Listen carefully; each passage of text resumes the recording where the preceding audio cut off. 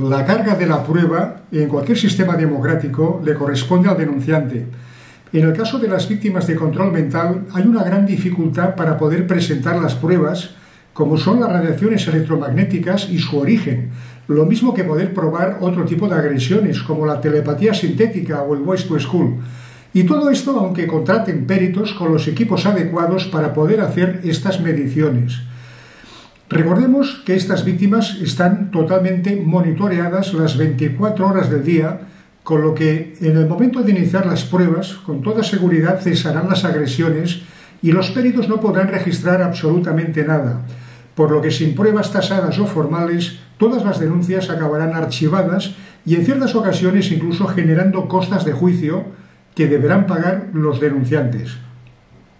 Además, este largo proceso judicial permite generar trampas para la víctima, como que en algún momento del proceso aparezcan determinados agentes de policía que con el pretexto de estar investigando su denuncia engañan a la víctima, diciéndole que la trasladan a un centro hospitalario dotado de nuevos escáneres para encontrar los implantes ilegales contenidos dentro de su cuerpo,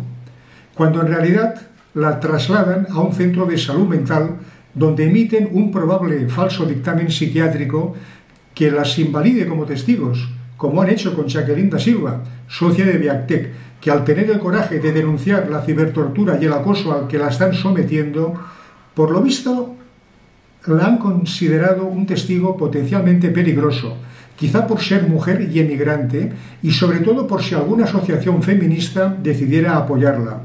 Por todo lo cual diseñaron una estrategia para invalidarla como denunciante y hay que reconocer que fue una estrategia exitosa y bien ejecutada por parte de todos los actores intervinientes, policías, médicos, etc. Posiblemente gracias a su experiencia en casos anteriores.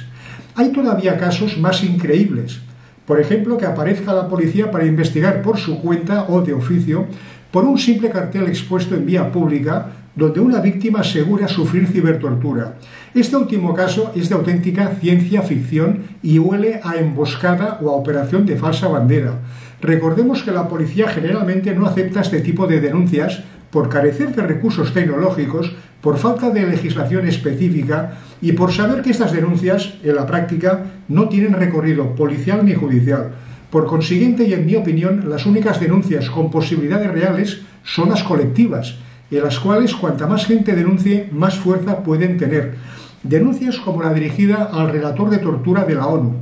al Parlamento Europeo o al Gobierno Fiscalía y Defensor del Pueblo.